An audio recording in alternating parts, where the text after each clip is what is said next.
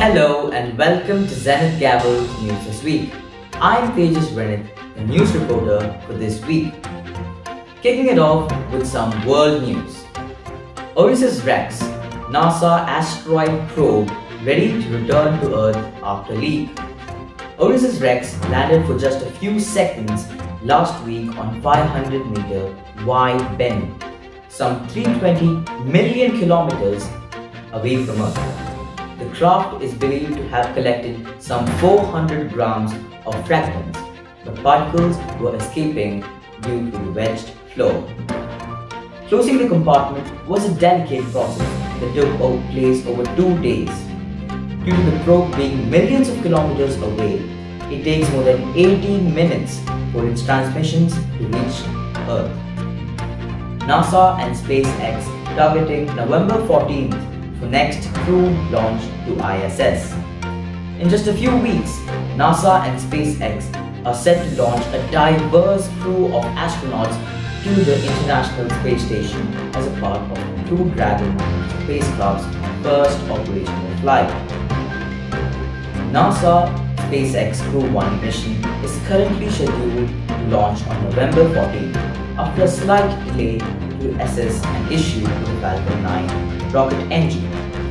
The issue is now resolved. Next up, COVID-19 updates. Total cases worldwide 45,316,582. Total deaths worldwide 1,186,609. COVID-19 vaccine update.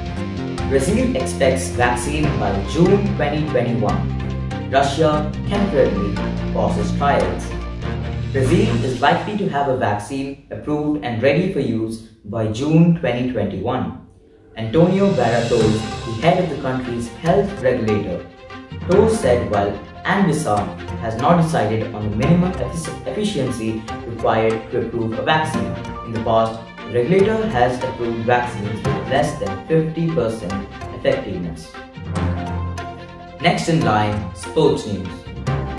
92 race wins and counting.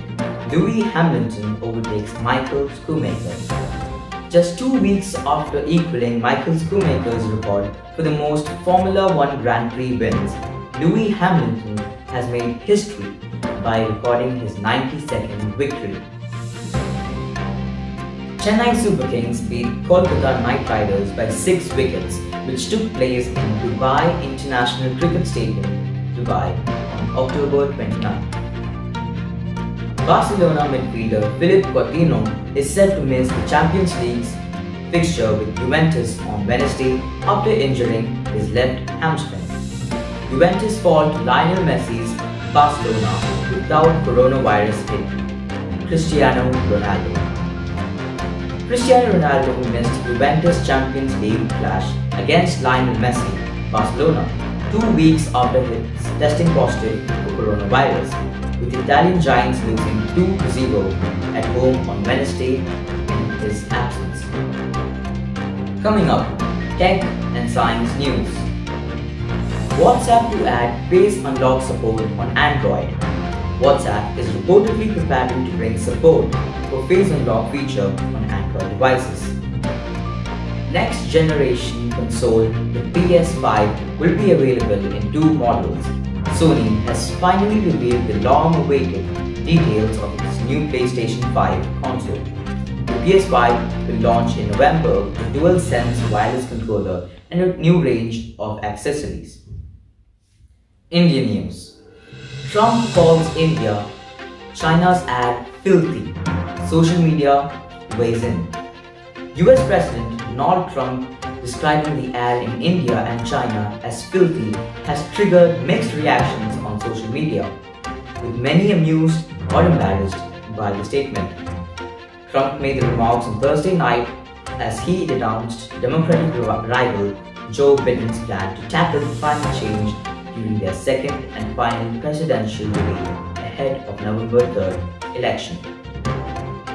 India and the US have signed a military agreement on sharing sensitive satellite data amid Delhi's tense border standoff with Beijing. The deal was announced after the annual 2 plus 2 high-level talks in Delhi on Tuesday. Experts say the strengthening of India-US ties is, is aimed at countering China's influence the region. Qatar News Qatar signs deals to procure COVID-19 vaccines with second pharmaceutical company. The Ministry of Public Health announced that it has signed an agreement with the second pharmaceutical company to procure the COVID-19 vaccine as soon as it is approved and released for global use.